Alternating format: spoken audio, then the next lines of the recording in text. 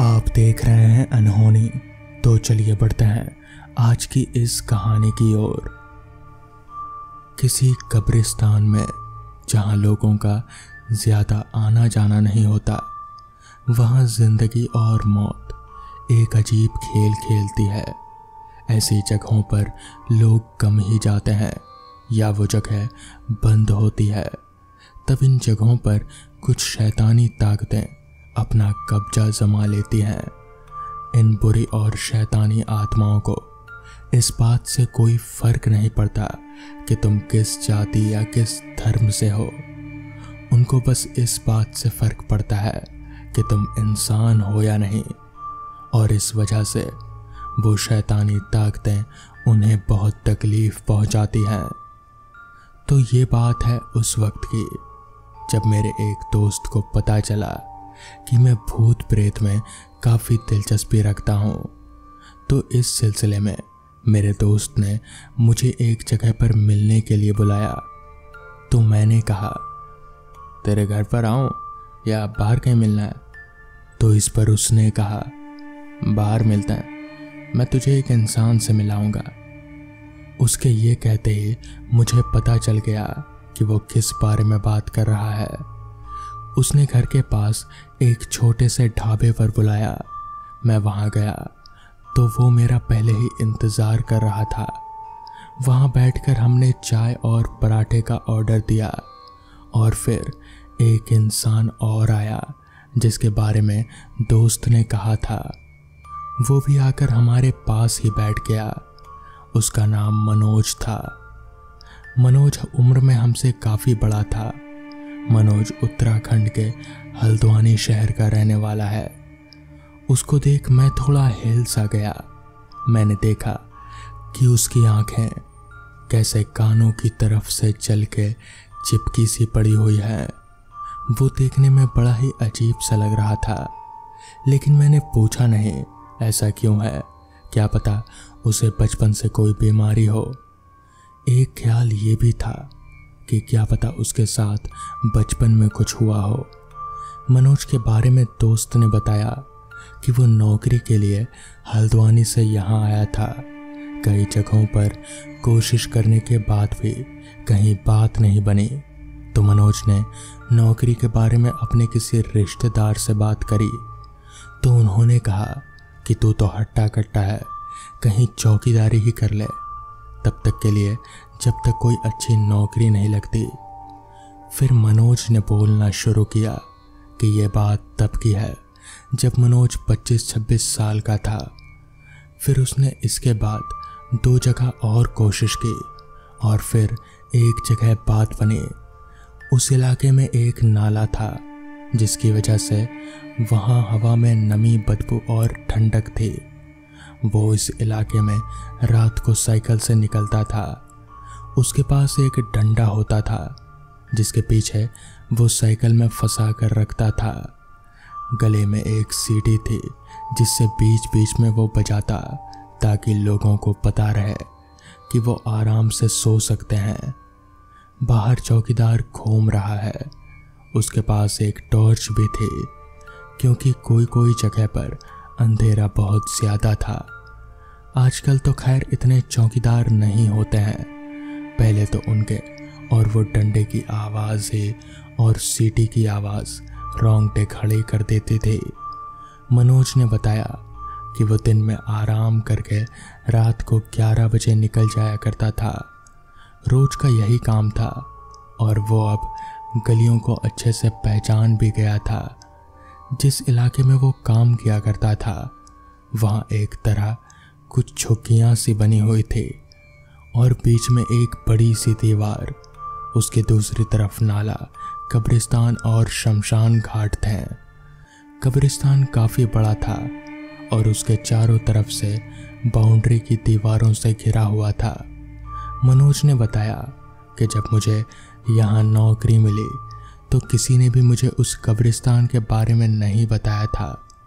फिर एक दिन, जब मैं उस कब्रिस्तान के सामने से गुजर रहा था तब मैंने देखा कि कोई चीज़ किसी को खा रही है। जब मैं उसके पास गया तो उस चीज़ ने मेरे ऊपर कुछ फेंका। फिर मुझे होश अस्पताल में आया, जहाँ मुझे पता चला कि मैं पिछले दो सालों से बेहोश था। और जब मैंने अपनी शक्ल आईने में देखी तो मैंने देखा कि मेरी आँखें जली हुई थी और मेरे कान एक तरफ़ से चिपका हुआ था। तो दोस्तों, चलिए बढ़ते हैं आज की दूसरी कहानी की ओर। क्या हो अगर रात को आपकी नींद खुले और आपको दिखे कि एक मुर्दा एक ज़िंदा इंसान को ले जा रहा है? उस दिन अगर एक सेकंड की भी देरी हो जाती तो वो मुर्दा उसे ले जा चुका होता। ये कहानी हमसे विमल ने शेयर की है। ये कहानी हिमाचल के कांगड़ा ज़िले की है। आगे की कहानी विमल की जुबानी। जब मेरे दोस्त के दादा की मौत हुई, ये साल साल उन्नीस की बात है। तब हिमाचल के इस इलाके में माना जाता था कि जिस घर में किसी इंसान की मौत हो जाए, उस घर में सबको रात भर जागे रहना होता है। और इसके पीछे का कारण ये था कि अगर लाश के पास बैठे लोग अगर सो जाते हैं तो मुर्दा उठ खड़ा होता है और अगले दिन जहाँ मुर्दे को जलाने वाले होते हैं, वहाँ जाकर जितने भी घर के लोग होते हैं, उनकी चिता बनाता है और वापस घर आकर सबको बारी बारी से उनकी चिता पर ले जाकर जला देता है। इस दौरान ये भी हो सकता है कि मुर्दा किसी को ले जा रहा है तो उसकी आँख खुल जाए तो उठ जाए। लेकिन ऐसा होता नहीं था, और उसका भी एक कारण था, जिसे पहाड़ी भाषा में मुर्दे का जाल बोलते हैं मतलब वश में कर लेना। लेकिन ज़िंदा इंसान उस मुर्दे के वश में तब तक होता है, जब मुर्दा उसे घर की दहलीज के बाहर ले जा सकता है, और इस अनर्थ को रोकने के लिए नगाड़े वालों को रखा जाता है, जो हर थोड़ी थोड़ी देर में नगाड़ा बजाता है, ताकि घर का कोई भी सदस्य सो ना पाए। लेकिन उस दिन उस दिन कुछ अलग सा हुआ। मौत रात को देर से हुई थी, और घर भी गाँव से दूर था, और उस वक्त मोबाइल, टेलीफोन वगैरह नहीं होते थे तो किसी रिश्तेदार को भी नहीं बुला पाए, इसलिए बहुत कम लोग ही आ पाए। और जैसा मैंने आपको बताया, वो रात थोड़ी अलग थी। एक एक करके घर के सब लोग सोने लग गए। यहाँ तक कि नगाड़े वाला भी सो गया। और फिर वही हुआ जिसका डर था। मुर्दा उठ खड़ा हुआ और शमशान जाके सबकी चिता बनाने लगा। कई बार आपने भी ये चीज़ देखी होगी कि जहाँ सोने के लिए मना किया जाता है, वहीं पर नींद आती है। और वो भी गहरी वाली नींद। तो अगर विमल की माने तो उस रात उन सब के साथ भी ऐसा होना शुरू हो चुका था। तब तक मुर्दा सबकी चिता बनाकर घर वापस आ गया था। और अब समय था, जो मैंने आपको शुरुआत में बताया। उस रात अगर एक सेकंड की भी देरी हो जाती तो ना जाने क्या हो जाता। घर आते ही सबसे पहले अपने छोटे बेटे को मुर्दे ने कंधे पर उठाकर घर की दहलीज की तरफ़ चल पड़ा। फिर जैसे ही मुर्दे ने घर की दहलीज के बाहर कदम रखा, नगाड़े वाले की आँख खुल गई। फिर उसने अचानक से नगाड़ा बजाना शुरू कर दिया, जिससे मुर्दे का एक पैर बाहर और एक पैर अंदर, ऐसे में ही वो गिर गया। अभी तक जो कुछ भी हुआ, उस पर किसी ने विश्वास नहीं किया था। पर अगले दिन, जब लोग शमशान घाट में उस मुर्दे को जलाने पहुँचे तो वहाँ पर सारे घर वालों की चिता मिली और उसके बाद सबने इस बात पर विश्वास कर लिया कि घर वाले सच बोल रहे थे। तो दोस्तों, चलिए बढ़ते हैं आज की तीसरी कहानी की ओर। मेरा नाम विजय है। मैं एक प्राइवेट कंपनी का बस चलाता हूँ, या फिर ऐसा कहें कि उस प्राइवेट कंपनी के लिए बस चलाता हूँ। काम ये होता है कि उस कंपनी के वर्कर्स को अपनी बस में बैठाकर घर से ले आना और फिर उन्हें वापस घर छोड़ देना। बस इतना ही, और फिर उन्हें घर छोड़ने के बाद हर रात बस को अपने घर ले जाना। मेरा घर ज़्यादा बड़ा तो नहीं है मगर बस खड़ी करने के लिए एक बहुत ही बड़ी खाली जगह या फिर मेरी ही खाली ज़मीन वहाँ पर पड़ी हुई है। तो मैं बस को वहीं पर खड़ा करता हूँ और हर सुबह वहाँ से बस लेकर वर्कर्स को लेने निकल पड़ता हूँ। उस रात मैं कंपनी के सारे वर्कर्स को लेकर उन्हें अपने अपने घर छोड़ने के लिए निकला था। उस रात ठंड का मौसम था। महीना दिसंबर का था। ऐसी वैसी ठंड नहीं, दिसंबर के आखिरी सप्ताह की ठंड कड़ाकेदार और रूह कंपाने वाली। मैं बस चला रहा था, अपने कानों में मफलर बांधे। पीछे बैठे वर्कर्स भी ठंड के मारे जैसे सिकुड़ से गए थे। मैं बस को तेज़ी से रास्ते पर भगाता हुआ आगे बढ़े जा रहा था। बस की सारी खिड़कियाँ बंद थी, इसलिए ज़्यादा हवा अंदर नहीं आ रही थी, मगर ठंड तो फिर भी लग ही रही थी। मैं बस चलाते चलाते एक एक करके वर्कर्स को उनके घर पर छोड़ता हुआ आगे बढ़ता जा रहा था। अब बस एक आखिरी वर्कर ही रह गया था, जिसका घर भी अब बस पास ही आ गया था। मैंने उसे उतारा और वापस अपने घर की ओर बढ़ पड़ पड़ा। मैं रास्ते पर अकेले तेज़ी से उस इतने बड़े बस को भगाए जा रहा था। बस में मैं पूरी तरीके से अकेले था। ठंड बहुत ज़्यादा लग रही थी।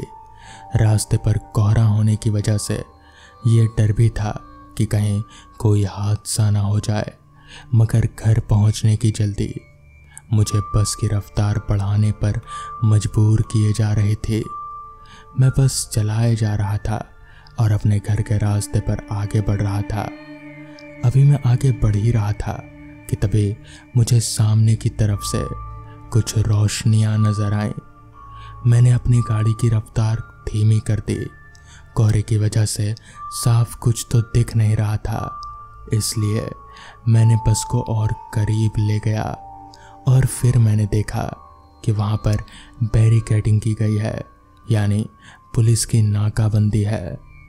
मुझे समझ नहीं आया कि भला यही तो मेरे घर का रास्ता है। इस रास्ते पर नाकाबंदी क्यों की गई है? मैंने बस रोका तो एक पुलिस वाला भागता हुआ मेरे बस के सामने आया और बोला, सामने एक्सीडेंट हुआ है, और ये रास्ता बंद है। पीछे वो जो जंगल वाला रास्ता है ना, उधर से घुमा कर ले लो। इस पर मैंने पुलिस वाले को देखते हुए कहा, पर सर वो रास्ता? इस पर पुलिस वाले ने कहा हाँ वो रास्ता क्यों? कोई दिक्कत है क्या? तो इस पर मैंने कहा, नहीं सर, कोई दिक्कत नहीं। अच्छा ठीक है। जिसके बाद मैंने धीरे धीरे बस को वापस घुमाया और उस रास्ते की तरफ़ निकल पड़ा। उस रास्ता, यानी कि वही रास्ता जिसके बारे में ना जाने मैंने कितने ही लोगों से सुन रखा था।